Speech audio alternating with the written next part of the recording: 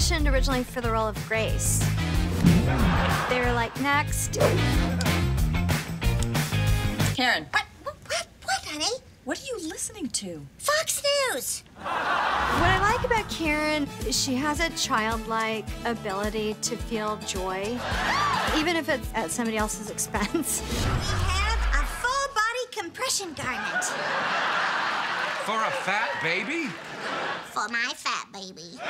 Even though Karen is annoying and what all of her negative qualities, she's loved by the other characters, and she in turn loves them. Oh, I had the craziest dream. You were there, and you were there. You weren't.